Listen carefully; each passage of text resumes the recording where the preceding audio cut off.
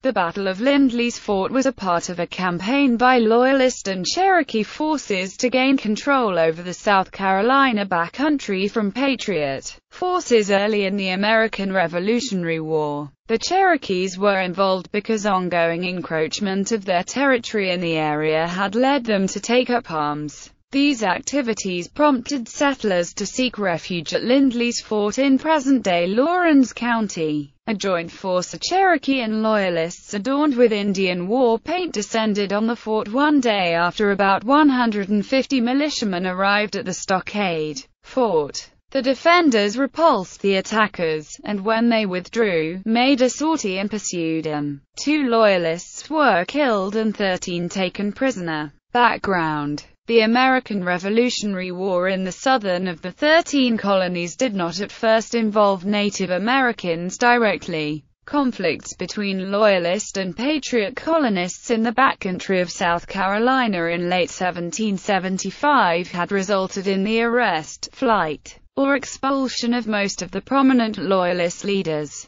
A number of Loyalists fled to the nearby Cherokee towns, where they were given refuge. By early 1776, a delegation of northern Indians had arrived in the Cherokee villages, and convinced the younger generation of warriors to take up the hacket against the colonists. Although the British Indian agent John Stuart tried to keep the Cherokee neutral, he realized that war was inevitable, and sought to channel Cherokee military activities to coordinate with British efforts battle. The Cherokee went on the war path on July 1, 1776. Henry Laurens wrote that the Cherokee, very suddenly, without any pretense to provocation those treacherous devils in various parties headed by white men, killing as many as 60 South Carolinians. The timing of this campaign was fortuitous for the Cherokee. A major British force had been anchored off Charleston, South Carolina since early June, but its attack on the city had been repulsed in the June 28 Battle of Sullivan's Island.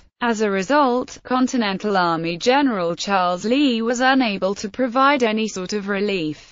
When the Cherokee attacks began in South Carolina, refugees began fleeing the outlying settlements for frontier fortifications. One of these was Lindley's Fort, a vestige of the Anglo-Cherokee War of the early 1760s that was rehabilitated and strengthened by the refugees. A militia company under Major Jonathan Downs arrived at the fort on July 14, raising the total number of armed defenders to about 150. The next day a force of about 190 Loyalists and Cherokee arrived. Although they attempted an assault on the fort, its stockade walls were sufficient to withstand their weaponry, which was limited to muskets and Indian weapons such as tomahawks. When the attackers began to abandon the attempt on the fort in favor of easier raiding targets nearby, Major Downs led a sortie from the fort. In a running battle he managed to capture about 10 Loyalists.